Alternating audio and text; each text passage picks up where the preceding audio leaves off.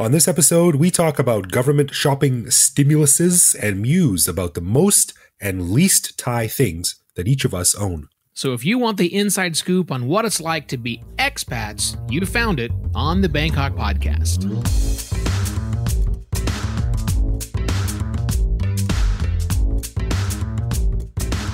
Sawadee krap, and welcome to the Bangkok Podcast. My name is Greg Jorgensen, a Canadian who followed a friend to Thailand in 2001 and when he went back home, I just kind of didn't. And I am Evo Terra, an American expat living full time in Bangkok since the beginning of 2016. Thanks for joining us here in the Big Mango. So, today we're going to be talking about Thailand's annual shopping spree at the end of the year, but we don't mean Christmas. Uh, but before all that, we do need to once again thank one of our supporters on Patreon who's helping us keep the show going and free of annoying ads. Indeed, we do, my friend. And this week it's Sean. Now, his parents might have spelled that funny, but trust us, it's pronounced Sean. Yeah, S I O N. It's like speaking Gaelic or something like that. But I guess it's cool if it's pronounced Sean. I'm I'm down with that. So as you know, Evo, I do like to do some research on our patrons, and I did find out something interesting about Sean here. Turns out when he was in college, he made a few extra bucks being a live model for some of the art classes. Ooh. You know, nothing crazy, just standing there posing, you know, like that. And uh, one time on a dare, he posed for a nude modeling class. As you do. Yeah, sure, why not? Uh, just it's just a one-off. But the next class, he went back to normal, but the women in his class were having none of that, and they all threatened to quit their programs if he didn't go back to nude modeling. So there you have it. Our buddy Sean has a rare gift that you and I can only dream of. Yes, and oh goodness, with that to help support the show, get additional uh, bonus content, get early access to shows like this, get some cool swag, and even get Greg to make up some wild and completely unbelievable things about you go get signed up at patreon.com slash bangkok podcast now with that silliness out of the way can we get to the topic at hand here tis the season to be shopping fa la la la la la, all of that. I thought you were going to sing. Uh, well, you know, didn't want to go too far. well, because you're the first one that noticed this story that broke last week about the government's end of year shopping stimulus package. Now, what's the deal with that? Yeah, yeah, it's called the Shop for the Nation package. Shop for the nation. Shop for the nation. Eh, okay, not the most creative titles, uh, but but but there you have it. Now this started on Saturday, November the 11th, and it runs all the way through to December the 3rd. December the 3rd. That's a few weeks before Christmas. That leaves three weeks of frantic shopping at full prices yeah. before the end of the year. Yeah, that's true. That's true. And you're going to have to pay, pay, full prices anyhow. But this is the third year in a row that the government, the NCPO, has offered a tax rebate. But they keep changing the promotion dates and the length. Every year they've done that, and I, and I have no idea why. So don't ask me that. That has to do with Thai politics and finance. So there's two things I'm not getting anywhere near with separate, certainly not when they are together. But what I can tell you about are the details as I as I understand them. However, you should understand that the details are rather hard to pin down and piece together, at least as of this recording. It it seems to be an evolving process. But the gist of it is is this. If you are Thai, you can deduct or if you are in Thailand, you can deduct up to 1500 baht, which is almost 500 bucks, I think. Like 15,000 I'm sorry, 15,000 baht. Yes, let's get this properly. 15,000 baht, which is nearly $500, uh, from your taxable income based on certain goods and services you purchase. Certain goods and services. Yeah, I bet, I bet there was a queue of people begging to get their goods and services thrown on the official list of goods and services. Yeah. So, what kind of goods and services does that mean? Well, the problem is I'm not sure, and I'm not joking about that. Right now, the information published has simply said just that certain goods and services. That's the way it is officially represented in all of the news reports from the Bangkok Post to the Coconuts to Reuters and even going to the Ministry of Finance's website all they're saying right now is certain goods and services. Now, mm. early on last week when it first broke, uh, it was reported that you could not get the rebate for booze, for tobacco, for buying cars and boats, which would be awesome. I Damn um, it. or even buying fuel for your, I guess, I guess cars and boats. Though those things are not supposedly part of the scheme, but again, none of the official documentation says anything about that. I also saw initially that airfare wouldn't be covered, like I was rejected airfare when I tried to take advantage of this last year. However, that is all massive conjecture. What we do know, the only thing we certainly know for a fact, is that those of us who actually do pay taxes, that's me, I'm pretty sure that's you, Greg. That's um, me. When you shop between now and December the 3rd, don't just get a receipt. You have to specifically ask for something called a tax reduction form. Hmm. I have no idea how to say that in Thai.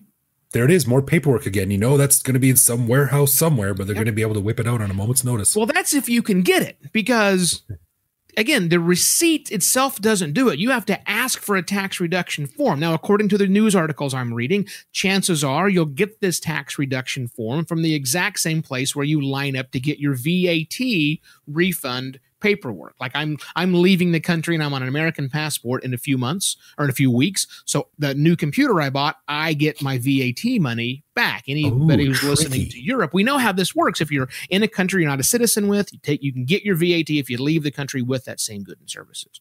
So you'll probably have to go to the same VAT stand to get your tax reduction form. However, this also works for food purchases. So Greg, can you point to the VAT refund counter at Indian Food 17, our favorite little Indian joint down the street? yeah, I, I just imagine the look on their face if I ask, uh, "Yeah, can I have a tax reduction form for my chicken tikka masala?" like what? It is funny though that they said it doesn't apply to cars because you know what happened the last time they tried to get people to buy cars. No. That was when Yingluck was prime minister, Oh, and I forget the exact details of the whole thing, but they they gave some kind of a deal or a break or an incentive for people to to spend money on their first car okay. and it was great because now everyone has a car. But I guess no one really thought about what the knockdown effects would be because at the end of the year there was an extra fifty thousand cars on Bangkok's roads, Yeah. and traffic was like twice as worse than it had been in the last fifty years. So you know this is cause and effect, Mm. but at least you can't do that this time. Although I don't understand the booze, I'd like to go in and spend a few. Buy a few bottles of Jack Daniels or something. That'd nice. you would think that it be seems like an easy way to get to the maximum number, but um, but that's the deal. That's as we understand it right now. Um, so there, there's also the fact that according to some reports, you actually have to have an annual income of more than 150,000 baht. That's annually, which likely is is not a problem. It's certainly not for our audience. You know, where they're either full time expats uh, or they're Thai nationals who want to keep their eye on what us crazy farang are actually doing. So chances are, listener, you will have no problem making that 150k. About 12 12,000 baht a twelve thousand baht a month, Yeah. which is if you're full, if you're working full time, you, you you certainly have you're, you're going to get that one right. But I think the bigger challenge is going to be getting the people that work at the revenue office to actually interpret the law the same way you might interpret the law because well, yeah, there's the rub. didn't happen to me last year. there's things that should have been discountable. Should I had got the tax reduction, but they came back later and said, "No, sorry, you have to write us a check or come back in and give us another 530 baht because that rebate we gave you wasn't legit and it wasn't worth fighting it." So, but here's the bottom line, guys: if you want to take advantage of this, if you're paying taxes in Thailand, save every single receipt and ask for that tax reduction form on every single thing you buy from now until December the 3rd, 2017. And then just kind of hope everything works out in the best possible way it can, because if so, you're going to get 15,000 baht reduced from your taxable income, which sounds like a deal to me. I could use the money. And they've done this every year. I, I did I did a quick bit of research, and they've done this. Uh, two, did this in 2014. They did it in 2015, and they did it in 2016. That's right. So it's, it seems to be kind of an annual thing, but it's never it's never presented as such. No. it's always presented as like, "Hey, a surprise from the government who is in charge this year." and I got it. I mean, shop for the nation. The marketing boys need to get back to work on that one. This sounds like a communist slogan on some That's paper true. or something. Yeah, it's very true.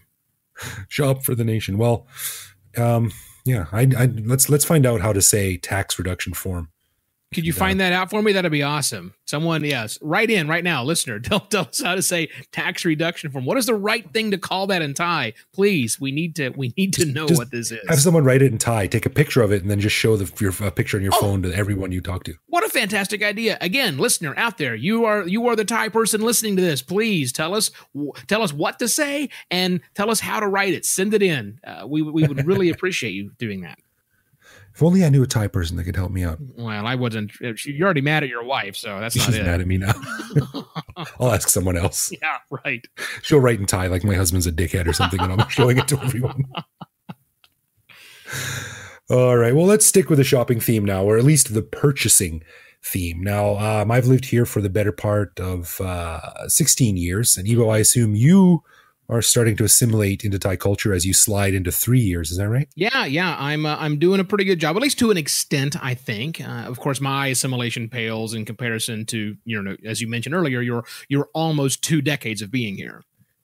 Right. Well, I've assimilated into a lot of aspects. Some I haven't. A lot I have. But um, I do like to buy things. Retail therapy, they call it. but um, so we thought it would be fun to uh, take some time to talk about the Thai things that each of us own, seen from the perspective of uh, our Western friends and family, as well as from the perspective of Thai neighbors or Thai family. Now, specifically, let's talk about the most Thai thing that each of us has purchased, as well as the least Thai thing that each of us has purchased. Yeah, I think this should be kind of a fun topic. As as you mentioned, you know, we both like to buy things and being in Thailand, we we have bought Thai things, right? Some things that we buy like groceries or like clothing, it's really less of a choice as much as it's well I've got to buy something, right? It's a staple, right? I'm not I'm not really buying Thai food as much as I'm just buying food just happens food, yeah. to be Thai food, right? and yeah, I have a Thai fan in my living room. It was made somewhere here in Thailand, but that's only because this is Thailand, and you have to have a fan or five in your house to keep you going, right?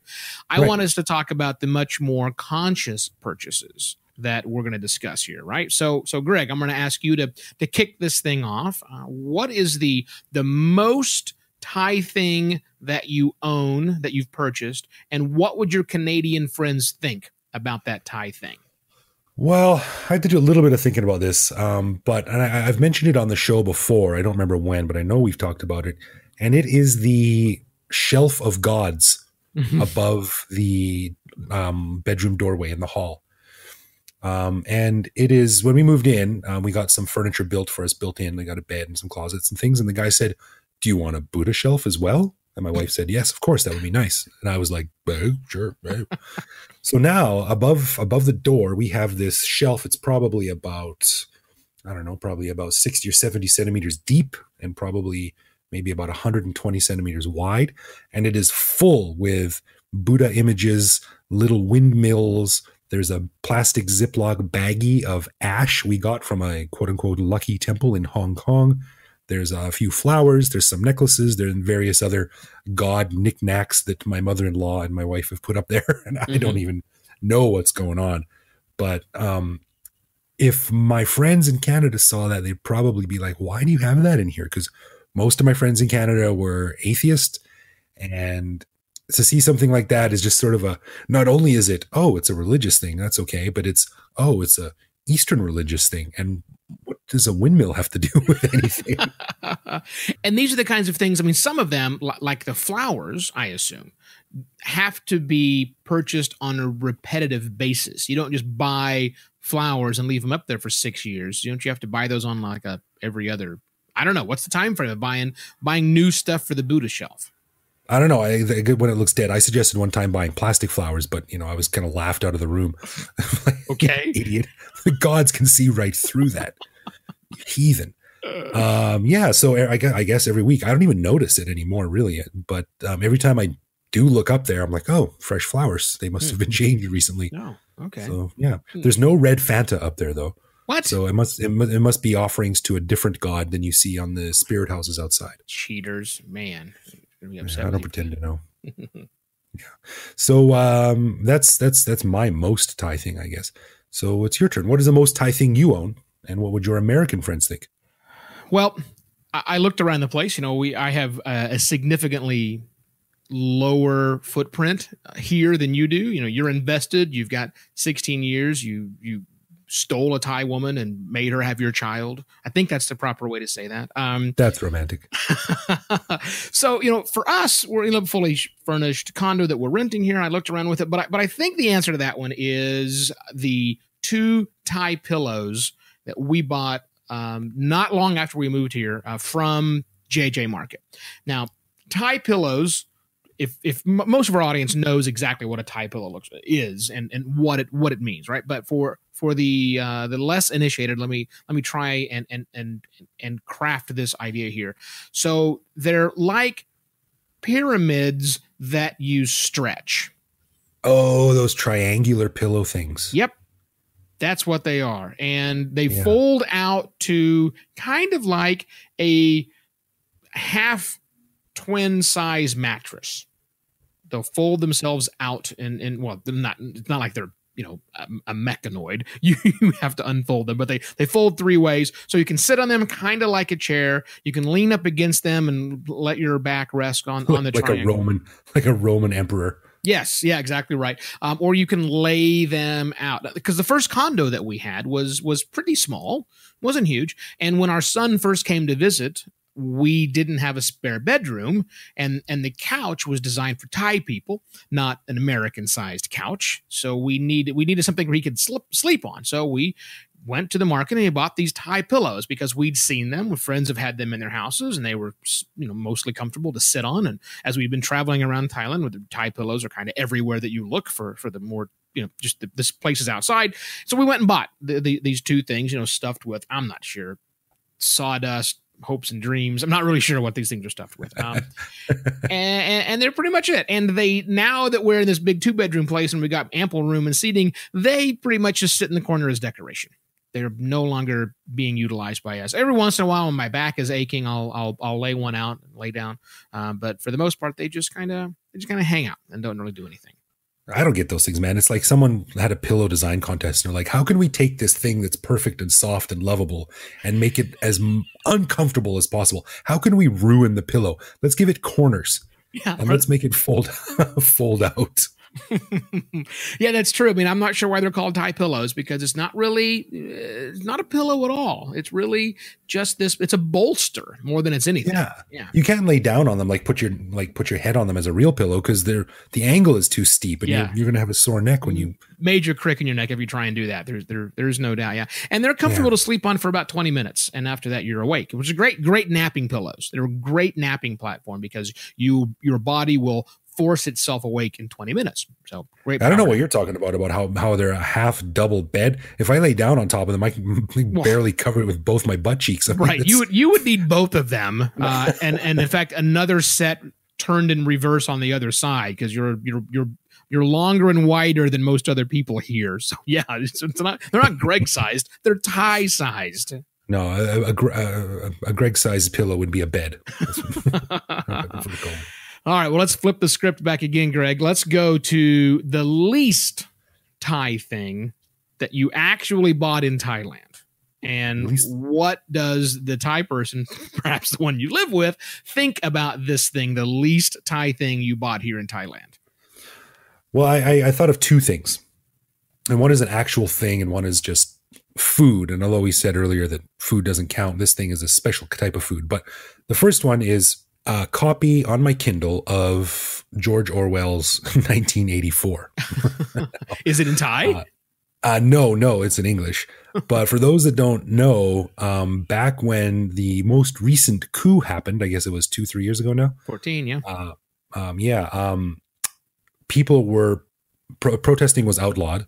So a lot of people decided that the best way to protest was to simply stand on a street corner and read a copy of George Orwell's 1984. And of Hmm. course, that's about Big Brother and all this kind of thing. So, um, and pretty soon that was made illegal, and you had a couple of people who were uh, reading it who were brought in for quote unquote questioning, just a chat with the police. Uh, and then, of course, it moved on to eating sandwiches as a show of dissent against the, Huh? the militaries. So, yeah, it was a whole thing anyway. But that's probably the least Thai thing I own because it's still a little bit of a sensitive topic. But did um, you, did, did you buy that book in Thailand? I bought it while I was here on the Ah. Kindle. So, I mean, it's it's. I mean, the ones and zeros live in Thailand, but they came from America. Uh-huh. Uh-huh. All right. But um, and the the next thing I thought of is a bag of all sorts licorice. Ugh. You know this kind of the, the the ones with like the yellow and the pink circles and the black stems and the things like that. You like those things? No. No, No, I you don't. don't? No. Oh, they're great. No, no, they're not. They're licorice, and that's not good.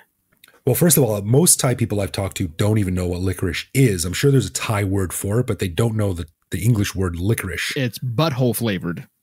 and then when you give it to them, they they sort of like they eat it like a, a dog you've just given you know like caviar to or something. That's a terrible metaphor. That's a Right, terrible that- metaphor. that's- a dog would love caviar. It's like a dog you've given a ball of tinfoil to. I'm not trying to say Thai people are dogs. I let me rephrase. That was terrible. But it's just it's just like giving something like you give them a piece of licorice and they sort of smell it and then like lick it and put it in their mouth and chew on it and then they look at you and like, why do you eat this? Why? most- why you do this? why you do this to me? What did I do to you? And the most common question I get is why are you eating plastic? I'm with you. And I I can't say I blame them. It does taste a little, at least the consistency is a little bit like plastic. So yeah, licorice is not popular in Thailand.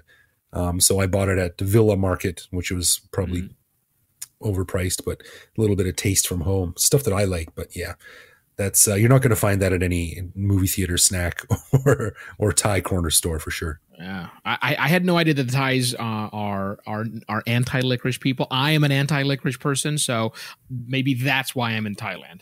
I heard the calling of come here, and we will never force you to to eat this anise flavored garbage ever again. My wife loves Hey it. man, I hate it. when I when I when I came to Thailand, I didn't like Guinness, and now I'm quite a fan. So there's time yet, Evo. There's time to turn you. Uh huh. We'll see. Yeah, yeah. Well, what's the least Thai thing that you brought in Thailand, and what do your Thai friends think? clear, easy answer for me on that one. Um, when we got here, the first condo that we rented again, that little tiny place that I had to rent the Thai pillows from, uh, it also came with a complete furnished bedroom, a bedroom set, which had its own sheets and pillows and stuff, which was a little odd. I didn't realize that's how they did things here, but that's how they did things. But there was one problem. And well, of course, we went to IKEA to buy like a second set because we only had one. Only one. What am I going to do? Wash that set? I have no dryer, so I can't like sleep on a bare mattress for a while. I'm not. No, thank you. So we went to IKEA to buy one, and we got back home, and we realized we made a grave error because all we had was a fitted sheet to go around the mattress, and then the top comforter, which is ridiculous. Why you have comforters in Thailand, but no top sheet like the sheet that goes but your body goes on the fitted mattress cover Yeah, I'm with you. and then there's a top sheet that goes over your body and then there is a blanket and or comforter or something else a quilt perhaps that goes on top of that yeah not in thailand in thailand No. when you buy a box a, a set of sheets it is only a fitted sheet and some pillowcases Really, it's been so. It's been 20 years since I bought bed sheets in Canada, so I can't even remember what they were like. Yeah, there is no top sheet, and I hunted forever to find the top sheet. I went to Central World, and they looked at me like, "Huh?" I went to Robinsons, like, "No, we have nothing like that." So I went to IKEA. You know, IKEA has everything that you want. So, yep, the the, the most, the least Thai thing I bought in Thailand is a top sheet. And our Thai listeners right now are going, "Why would you want a top sheet? It's so hot." No, why do you want that damn comforter? That's what's so hot. It's so hot here. All I want is a top sheet on top of me, and I never want the blanket to touch me. my skin. Are you nuts? No, need a top sheet. Do you sleep with the aircon on? Of course. Yeah. Yeah. I do too, but only because our, our kid sleeps in our room too. Do, Um, do you have a top sheet between you and the blanket? No. Animal. And how do you live this way? Well, I get up in the morning and I uh, drink out of the trough, have a have a bite of my raw meat. I go go to work. You have forgotten the wonderful silky feeling of a lovely top sheet on your buck naked body. Ooh, stop! I'm getting all tingly. So there you have it. Our list of most Thai things and least Thai things. Uh, I'm curious, listener, and as I'm sure Greg is curious as well. What, where, where do you fall in in this spectrum? Is there something that, for those of you that have been here for a long time, what do you have that is uniquely Thai, that is extremely Thai, and then is also just a nutsy thing that the regular Thais in the world uh, don't don't don't get into? That I would I would like to know what that is. Yeah, that would be interesting. Yeah, Yeah. that'd be cool. I would also like to know one thing, and that's what you think about everyone's favorite segment of our show, something called Love, Loathe, or Leave. This is where we look at one minor aspect of living in Bangkok and find out if it's something the two of us love about living in Bangkok, loathe about the expat life, or if it's something we hate so much it might just cause us to leave Thailand eventually. I have the honors this week, and um, here it is, Greg. Can we Okay. talk about these sticks of camphor people stick up their noses? yeah, that's that's very Thai. yeah, let's stick with the the most Thai thing could be. I, I thought about using this one because I have purchased one of these. Because You if have? you just ride on the BTS or walk down the street, you will see someone with what looks like a chapstick shoved up their nose, or Yeah. or a jar of mentholatum or Vicks vapor rub opened and their nose shoved inside of this jar, inhaling Vicks vapor rub or Yeah. mentholatum or whatever. And it's not like you see this occasionally. You see this daily. Daily. Yeah. Yeah. You, you know, you know, you're in like, uh, you, you've seen like a real to the core Thai person when you see someone with two Yeah. in their nose, one up each nostril, just rocking it, just walking down the street. Like I'm not even breathing the real air anymore. I'm just, I'm just sucking down Vicks vapor rub all day. Just just puzzle. I tried it. I bought it. I tried it to figure out what's happening, and I think I accidentally like touched the inside of my nose with it, and then like for and then I'm like that dog with a jalapeno, just trying to just scrape it off. and I- it was the most most disturbing thing I've ever done. I don't understand. Yeah. It's, I, I, I've, I, I've, I've never actually bought one, What? but I have tried. I have oh, you've tried them. it though. You've tried it. Yeah, and I don't, I don't, I don't, I wouldn't stick one up my nose and just kind of leave it there for a while, but it is kind of refreshing. Um, it's sort of like when you go to smell a bunch of perfume or cologne, and they have a little jar of coffee beans to Sure. refresh your nasal palate. Yeah. I guess you would say. Um, but I don't find it unpleasant, but I certainly don't understand how people just walk around being like for dates, just sucking on these things. that that has got to lead to like deviated septums or some sort of irritation of i don't know i'm, I'm not a medical doctor although i play one on the podcast. Uh, maybe maybe there's got to be some like you shouldn't do this. There's that's like you know vaping right? We're going to find out in in 10 years what all these weird heavy metals are doing is you would keep inhaling those into your like, not in thailand of course nobody vapes in thailand because it's illegal so we know that no one does that. But i just wonder where it came from, what's the history, why why people continue to do it, and is there any long term lasting effects? I don't know. I'm putting it in strongly in the loathe column just because I did have the unpleasant experience of you know irritating my own nasal tissues with one. I don't know. Yeah, I, I wouldn't say I loathe it. I, I wouldn't. I don't like it. Um, I, I don't love it. I would like it. Um, it's good every once in a while just to kind of give you a little sort of a, a brighten up. It's sort of like a little sniff of caffeine. But yeah, eh, to each their own. I, I don't love it. I don't loathe it.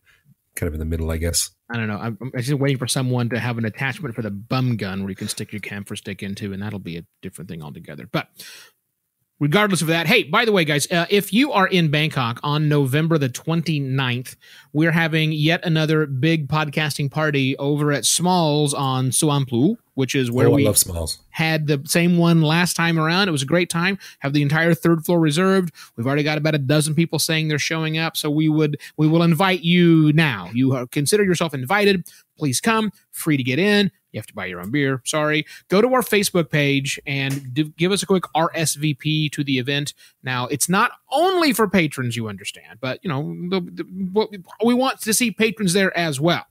Yeah, it's great. It was last time. It was really fun. It's on the rooftop.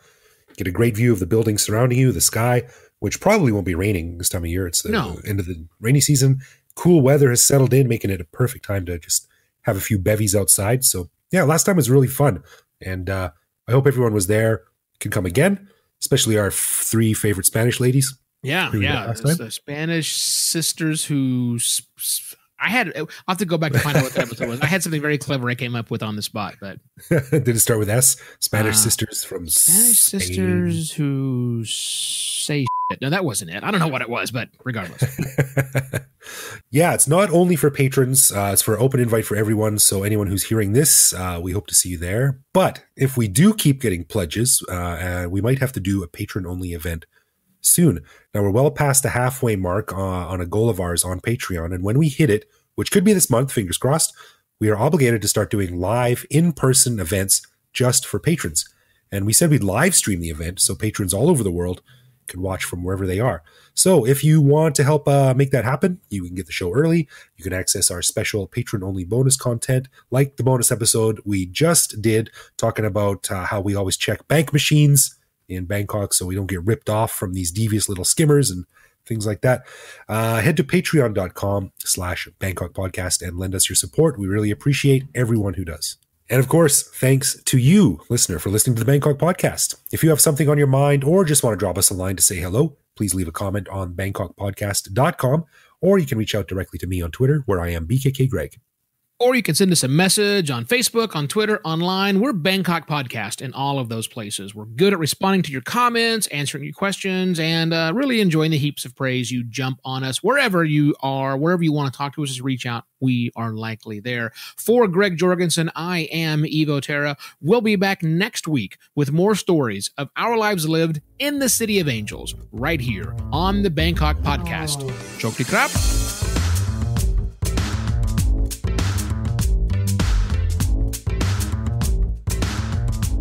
So before we jump into the nitty, Gritty. That second word there is gritty. Yeah, right after nitty, it's gritty, not titty. I have a titty shitty time getting gritty out. All right.